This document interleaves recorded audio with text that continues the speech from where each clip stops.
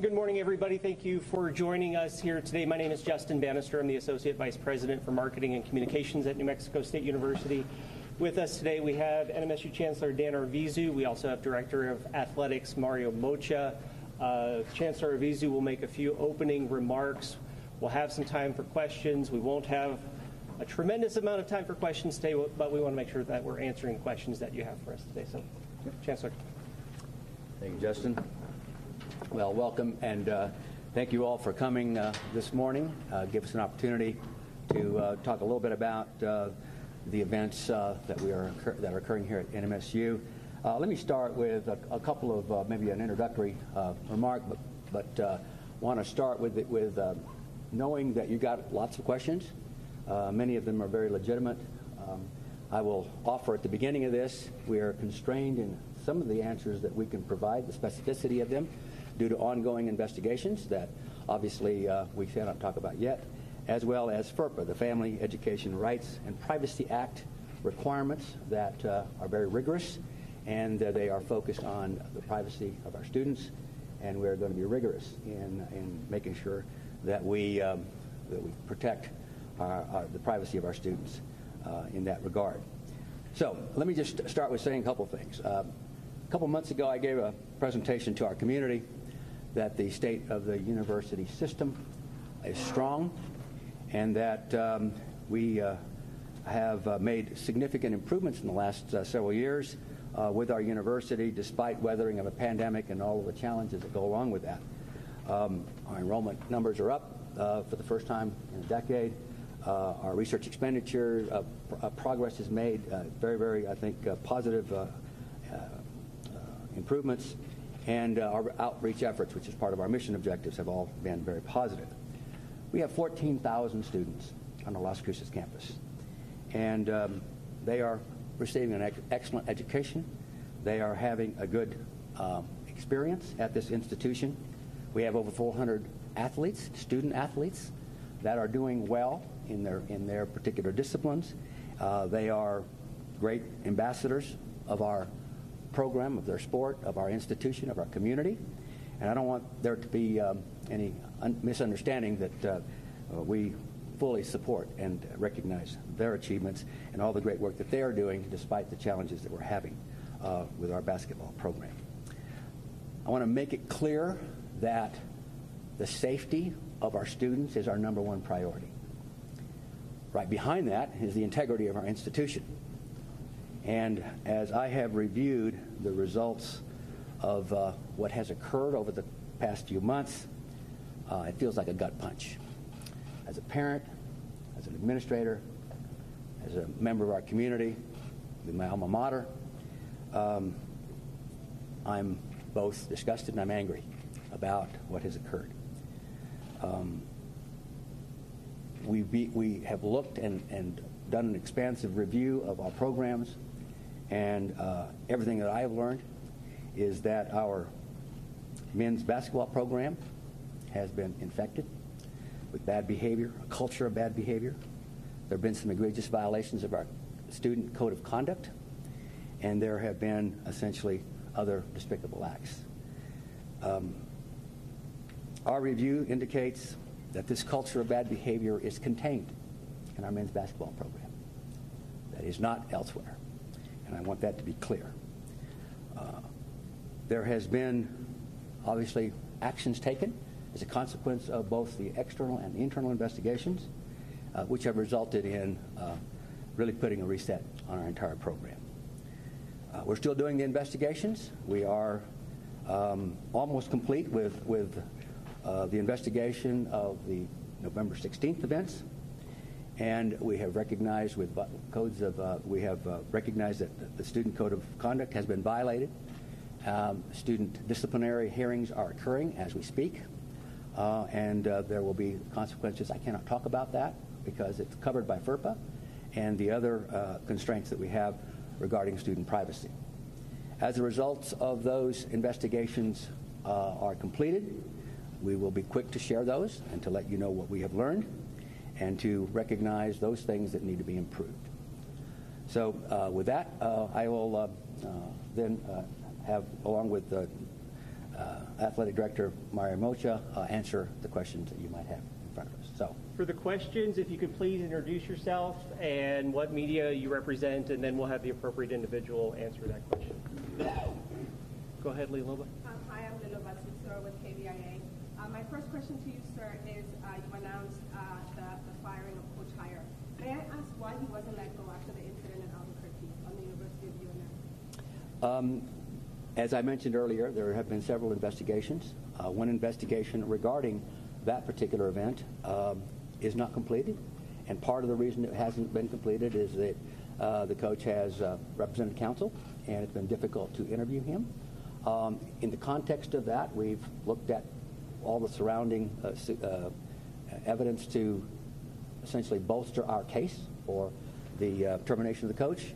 And in that context, um, that decision was made based on um, the information that we have at the current time. Go ahead, Ugo. Uh, Hugo Perez, Jour- uh, Journalism and Media Studies, NMSU. Um, What is being done to help the victim and their family on behalf of New Mexico State University? Counsel. Yeah, I think, I think the, the main thing I can say, obviously, can't talk about who they are, but I can talk about the fact that uh, uh, we've provided um, both uh, uh, counseling services. Um, we've been in contact with, with, the, uh, with the state government. Uh, they've provided mental health counseling as well, and we are taking very, very aggressive steps to make sure that those who have been affected are getting the kind of counseling and support that they need. Go ahead, Colin, then we'll come over here. Yeah, Colin Heber with KTSM. Uh, You mentioned in your statement yesterday that you're still investigating the other assistant coaches uh, within the program as far as like their current status.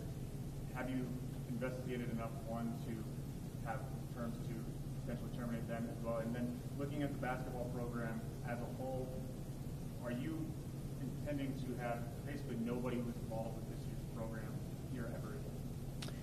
Uh, To answer your, your first question, uh, there's still an ongoing investigation for the, for the assistant coaches, and uh, I think until we get the, the information that we need, uh, action uh, will be withheld until we know more about what we need to do. Um, uh, You know, maybe I can ask um, uh, Mario to provide a little bit of, of what our intent are for the balance of the season and- and the things that relate to your second question. So Mario? You want to just restate that, Colin, your second one? Yeah, more, I mean, I'll ask, I'll I'll ask a follow-up to that too. Ba- Basically, players, coaches who are involved with this program, will any of them ever basically be allowed to be involved with Mexico State basketball as a whole? And I would also follow up with that, at what point, because the program is on an indefinite leave of absence right now, at what point will you feel comfortable bringing the program back at all? Sure. Um, Well, as the Chancellor, uh, Chancellor Arvizu said, it is an ongoing investigation. When the results of those, of that investigation is in, that'll determine um, the course of action for uh, the remainder of the student athletes as well as the remainder of uh, the basketball assistant coaches and the basketball staff, okay? Um, So we're going to wait for that. Um, As far as the continuation of the program, uh, there certainly are games left. Our focus right, uh, right now is not to rush out and seek a new coach. We're trying to get a resolution to uh, this um, uh, circumstance, but we certainly intend on playing men's basketball next year, uh, you know, for the Aggies. Go ahead, Rachel. Uh, Rachel Phillips, ABC7 Mara, just wanted to be confused. There's been a lot of criticism about head coach Greg Heiar being hired in the first place, considering where he came from and the coaches he coached under. Do you regret hiring him? Well, I regret the outcome, but more I regret um, what's happened to the victim. Um, you know, I certainly think hindsight is 2020, and uh, I made a list of every coach that I've hired at my alma mater, where I was also a student athlete at New Mexico State, and you know we've had an excellent batting average. Nobody bats a thousand, uh, but uh, I am certainly tremendously um disappointed in this outcome right? Specifically for the victim, but for everybody involved. Um, so we'll go back and look at our processes. However, when I look at all the 12, 14 coaches that uh, I've hired as athletic director, most of them have been outstanding in the community, won championships, NCAA appearances, and a lot of them have left us and gone on for, you know, greener pastures financially. So I don't think our model is broken at all. However, do I have reservations uh, uh, we'll take a great look at our processes um, on the next hire. Uh, Actually, you first, and then we'll go. Uh, Ryan Boetel with the Albuquerque Journal. Can you go over the terms of the separation with Coach Heiar in terms of his buyout? Was it with cause, without cause, and then how much is the how much of his contract is the university going to have to pay? Um, I can't talk about specifics necessarily. Uh, What I can say, uh, he was terminated for cause. There's no settlement. Go ahead. Colby Harvey ESPN. This is probably for you, Mario, but uh, to go back to the point about hiring, coach Heiar in the first place, um, what did the vetting process look like, considering there were some concerns about where he had come from? Uh, and, and mentioned taking a look at it. What does that look like to you? Yeah, the vetting process is the same. You know, you, you utilize the people that you know in the industry. Um, certainly, you know, from my background at University of Missouri and Southern Illinois, I mean, I have a lot of contacts in the Midwest, but I also have a lot of contacts on, you know, uh, the NCAA selection committee members, et cetera. So you call the people you know. Um, certainly, um, the tree that um, Coach Heiar came from, you know, yielded tremendous coaches and Steve Forbes and Chris Jans. So uh, at the end of the day, I do not believe that we have a broken um, system of hiring coaches. I could I made a list of all the coaches and all the accolades that they've won. So the same process that we used to hire a Jerry Kill or a Chris Jans was the same process we used with Greg Heiar. Uh, as I indicated, you know, uh, outcomes are are never preordained. Um, and, um, you know, unfortunately, you know, in this situation, for all involved, this did not work out uh, tremendously. So I have a question for Mr. Moccia. So you also brought down, uh, you know, uh, the head coach over here to NMSU, and you also overlook uh, the sports team here at NMSU. So how was this able to happen under your watch? Yeah. Well, Tell me your name and your affiliation. 14. Okay. Um, what do I feel about this happening on my watch? Yeah, well, I mean, you brought uh, Coach Heiar here. to NMSU, and you're also overlooking the, the sports uh, department here at the university. So how was this able to happen under your watch? Well, as I just illustrated, you know, coaching hires are not infallible. There is not a crystal ball underneath my desk. You know, we've had a tremendous uh, run on hiring very successful head coaches. Um, however, you know, it obviously did not work out in this um, in this setting, and there is, um, you know, limits to what a head coach can actually do. Look, ultimately, that falls under their purview, um, and that ultimately falls under my purview. But um, you know, we do extensive training with the student athletes. We'll get into that later, but uh, you know, sometimes it just does not work out. Go ahead here. Um, in the police report, Selena Madrid, Fox 14 and CBS 4. In the police report that was given to the media, it only listed the incident that happened last week. Um, is there any other incident, and are you guys being transparent with the community on the severity of the hazing allegations that are being made? Uh, So, so let me, uh, I can't speak about um, uh, reports that come into our, you know, the, the- the function at the university that handles Title IX types of incidences. Those are extremely protected uh, for obvious reasons. I can't talk about that. Um, Are we being transparent? We're being as transparent as we know how to be under the constraints that we're operating. And, then just a follow-up question to that. Normally when um, there is like a police report or something and we request uh, the report and the statement of facts, the names of the people involved are not redacted. Is there a reason that these names of these basketball players are being protected? And when should we expect for those names to be released to the community? Selena, I would say that that document, when it was made available to the media, there was a note accompanying that. And the biggest issue there is that there have been no charges filed at this time. Should charges be filed, those redactions would be removed and you would be provided that. And are you expecting for charges to be filed? I mean, where are we at in that process? Uh, It would depend on the outcome of that investigation, which is still underway. Okay, Johnny, and then we got to come back to Richard. Uh, Johnny Coker, KRWG Public Media. Um, so since these events go, you know, the hazing allegations go as far back as last summer, um, is there a plan for NMSU to hire an outside investigator similar to after the events of November 16th? Uh, Yes, the- that is in fact the plan, uh, to do this investigation. uh, as uh, Director Moat has said, you know, there's obviously responsibilities that go into the athletic department. There are also responsibilities in other functions of our institution that relate to student uh, safety and privacy. And um, we're examining all of those processes to ensure that even where things might be legally sufficient, maybe they weren't adequate. So we're looking at a variety of ways in which we can improve access to understanding the information so that we can take action when, in fact, there's been deficiencies in that area. Sure. And would it be a separate private law firm that you'd be uh, hiring? Or? It'll be independent, yes. And I want to make sure we get to everybody's first thing before we get to second ones. So go ahead, and then we'll come to you, Jason. Yeah, yeah. One, one more on that. I just want to put an existing point on that, just to, just to um, maybe educate some of you of what currently goes on. Um, You know, at the beginning of each year, there's a full squad meeting with all of our student athletes um, where hazing is discussed, as well as clearly in our student athlete handbook. That's to all athletes at the beginning of the year.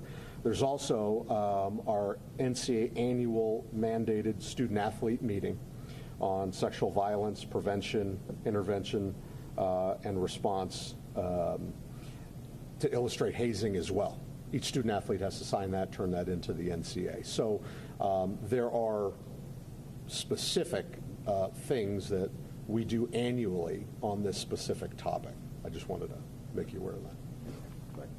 Um, I'm Stephanie Moniz with uh, KOAT in Albuquerque. So before this all came out, the police report was filed. Did any member of administration or the athletic department have any knowledge of hazing allegations? And is there any chance that this investigation will be turned over to the district attorney? Um, So, uh, again, you're getting into a space that's a little bit sensitive here. Um, We are doing the internal reviews. Um, I can assure you that certainly certain members of the administration, myself included, were not aware of any of those um, allegations or even incidents uh, before they were reported. Um, It's that process that I think is giving me pause to say, why not? So uh, we're still looking at that, and I can't give you any more speculation about what might occur, but we are looking at that very carefully. Go ahead, Jason. Uh, Chuck Vargas, Mario spoke about his, you know, his process throughout, you know, his confidence in his leadership. As, as his direct supervisor, how would you kind of characterize your confidence in him moving forward? Yes, thank you for the question. Um, so uh, Mario has been um, uh, extremely transparent with me about all things that he knew when he knew them, and we have been in constant contact around all the, the various things that we had uh, both control of and uh, those things that were coming our way. Uh, I have not lost confidence in Mario's ability to essentially be our athletic director. Uh, he still has my uh, complete, uh, you know, uh, confidence to to uh, turn this program around. Clearly, there are some issues that we need to see. Why uh, did it take so long to understand that there was an issue? Um, we will get to the bottom of that. Uh, again, uh, partially a coach's responsibility, partially a process responsibility, and we'll look at all of those things simultaneously. But uh, I think uh, there's plenty of evidence to support that this particular incident or, or a set of incidents is, is contained in our men's basketball program, primarily a coach responsibility, but the oversight of that is in question, and we will continue to look at that going there forward. more oversight in the future, like future coaching hires, future athletic? There will certainly be improvements in our processes and, and the way in which we hold ourselves accountable to ensure that our student safety is the top priority and that the, the integrity of our program is sound. So those will continue to be parts of the uh, investigation and the results will, uh, will, will dictate what we do uh, going forward. Go ahead, Leila, and then we'll come around again. Um, Thank you, Lila so again, KVIA. Uh, My question to you this time is twofold. The part, the first part of it is that I spoke with a woman yesterday who's a season ticket holder, um, who is very saddened by what's happening here. It cuts very deeply, as you know, for the community of Las Cruces, and we're all Aggie fans. She's been coming to these games for a long time, bringing her family, bringing her grandchildren, um, and she, she feels like this needs to be rebuilt, the program needs to be rebuilt from the ground up. First of all, I want to know if that's how you feel as well.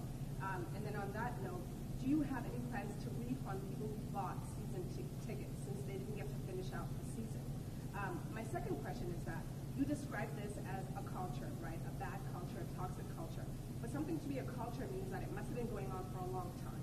So how did it go on unseen for as long as it did? Essentially, how did the university allow this to happen? Uh, the answer to your first question is I feel like that uh, member of our community spoke. That's exactly how I feel.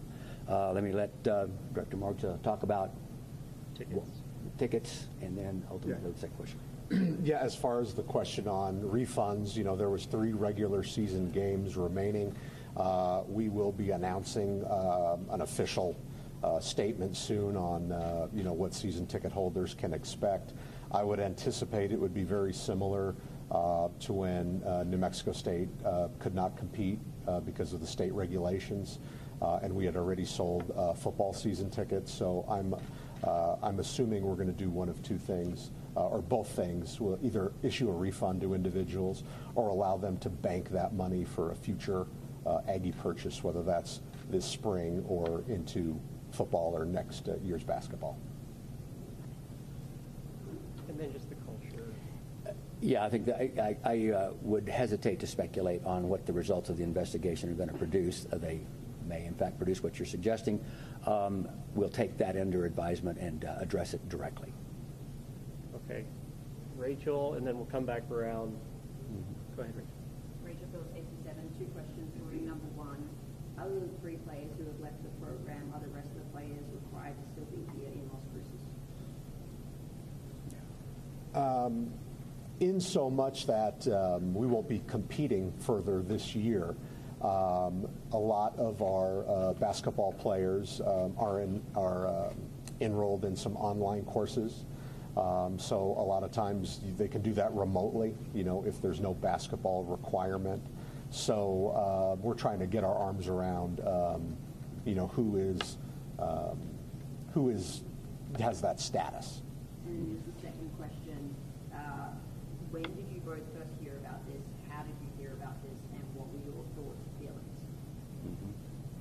Yeah, I, I, look, I, I, I heard about it uh, the day that it the day that it was reported, um, and uh, we took immediate action that same day.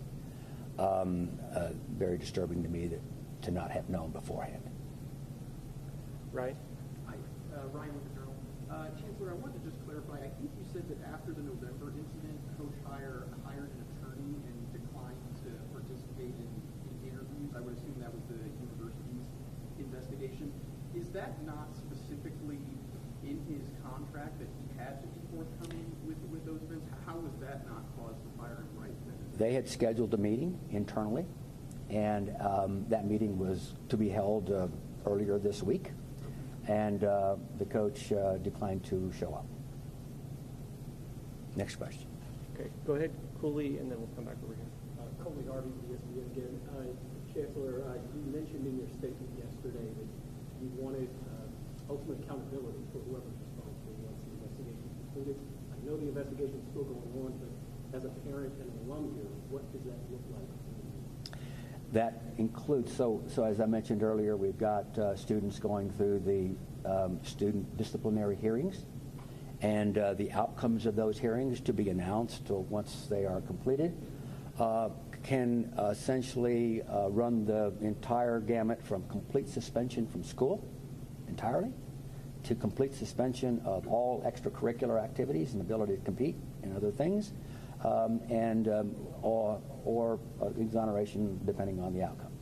And it could be any one of those, and I expect that uh, we'll see uh, the, uh, a spectrum of those outcomes after the investigations are done. Mario, could I ask you the same question? Uh, essentially, uh, in the statement that the chancellor provided yesterday, there was uh, the, the hope for, uh, for full accountability for whoever's found responsible for all of this. For you as a parent and alum, what does that look like? What is full responsibility and accountability? Well, look, there's university processes uh, specifically in place to um, ascertain guilt, levels of guilt, et cetera. I mean, as a parent, it makes me sick. Um, however, um, there are processes and um, whatever the outcomes from the university, you know, are, uh, we will abide by them. The student athletes will have to abide by them, coaches, et cetera. So, you know, we're just going to let the, uh, the investigations, um, you know, take place, hopefully finalized soon, so we can have some clarity on each individual's um, specific responsibility. Uh, Yeah, and, and let me just add, as, as, a, as a parent, I'm angry. Um, and, I'm, and, and I know that um, this is not what anybody anticipated for students coming to our institution. And when, we- when that outcome is not what we desire, it, uh, it behooves us to take full and strong action to ensure, first, that we send the right messages, and second of all, that it doesn't happen again.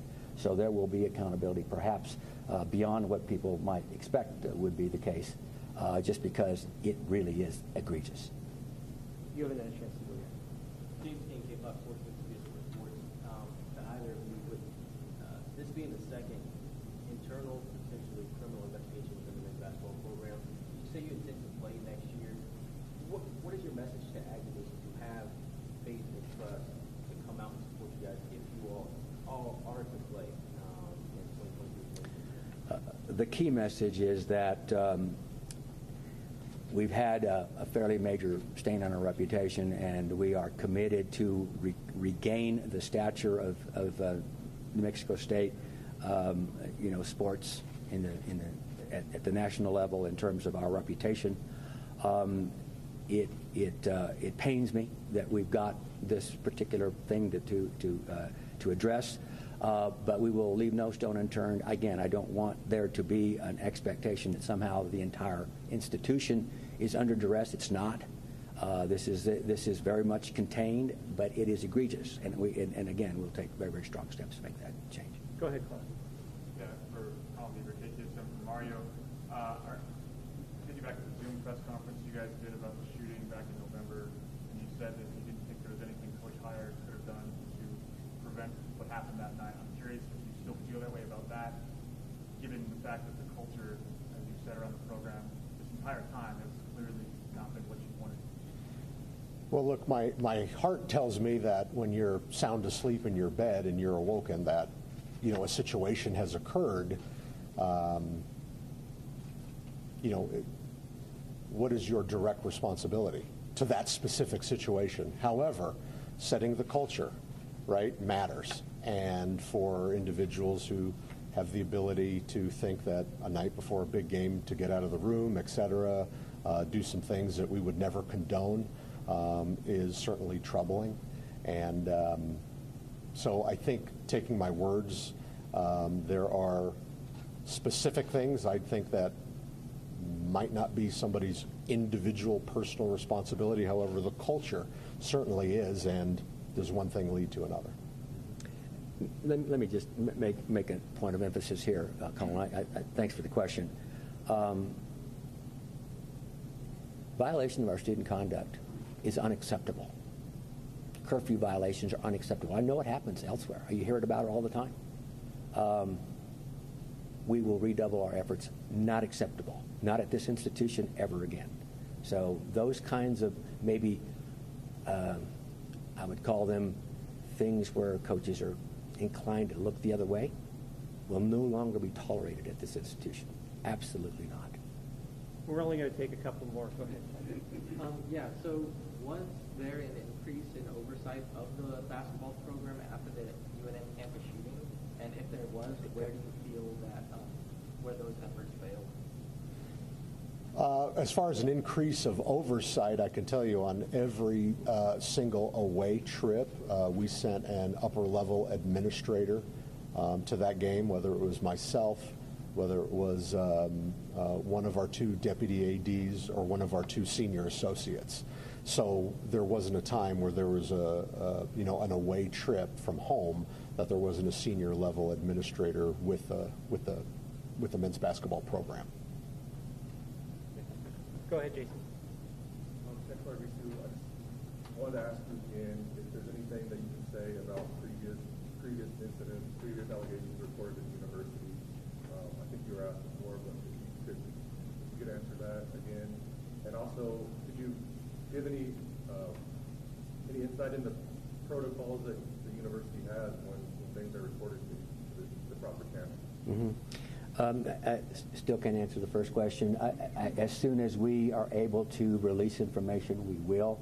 Uh, it's covered under our FERPA and internal investigations uh, kinds of kinds of uh, uh, constraints. Um, I'm sorry. The second question again. What? I asked about the pro, like, the protocol. Oh, like, yes. What is the process then? Yes. So um, when, when there is a, a, a code of conduct violation, uh, last year, we took the, the, the, the uh, fairly strong step that we took the reporting out of, out of the athletics department and put it into the general, uh, uh, the, the dean of students process. Uh, and, and that now, it's been done a couple of years now, several years now. Uh, and the reason we did that was to make sure that there was an unbiased review of what's going on.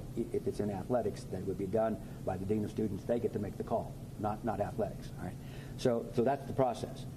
Uh, if it becomes a Title IX issue, which obviously has to do with, with uh, some sort of sexual uh, uh, activity, if it becomes that, it goes into our uh, Office of Institutional Equity. And they have a very rigorous, very constrained way in which they both seek out to understand what has happened, uh, protect the individuals, uh, offer any kind of, of, um, of announcement, clear announcements, they call them timely, clear announcements that says, is there, is there a concern to the rest of the campus by what we just learned? That kind of stuff is all done very rigorously in that process. When they are not able to complete their process by whatever, for, for whatever reason, uh, students don't respond or whatever, then they don't report.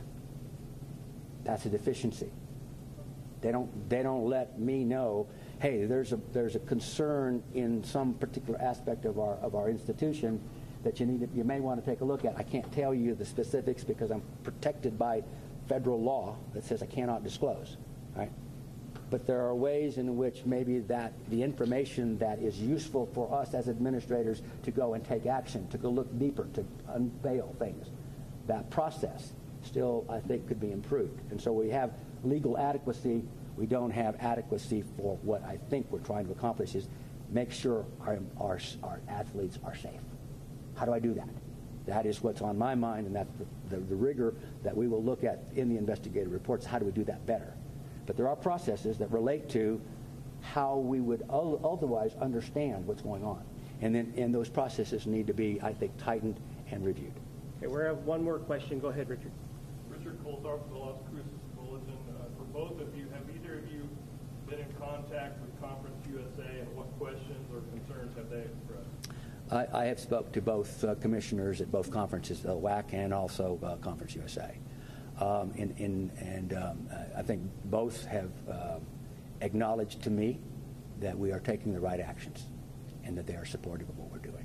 So, uh, yes, the answer is yes. I don't know, Mario, you might have talked to him as well. Yeah, I've talked to uh, Brian Thornton, the commissioner of the Western Athletic Conference, uh, several times, um, just to keep him abreast of things. I've also talked to Judy MacLeod, the conference uh, or the commissioner of Conference USA, several times as well, just to make sure she was up to speed and aware, and and we've we've done that from an athletic standpoint.